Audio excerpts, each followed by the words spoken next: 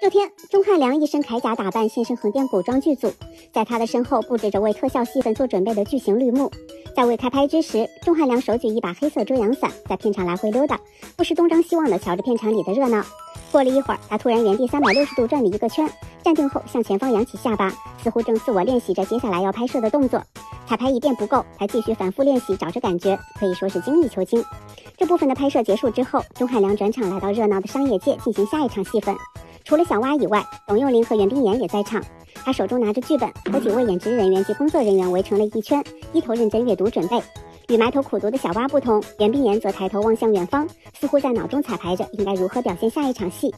不久后，几人各自分散站位，钟汉良手中依旧紧握剧本，但他早已将台词熟记于心，全程脱稿，念念有词，同时配合做着手部的动作，勤勤恳恳地练习着。随后，工作人员拿着剧本来到他们身旁进行指导。钟汉良抬手比向身前的董又霖，似乎在示意下一段该轮到他了。小董同学立即接上，跟工作人员讨论几句。随后，小蛙也参与进来，两人一边看剧本，一边讨论表演时的配合。过了一段时间，袁冰妍也过来与二位男演员会合。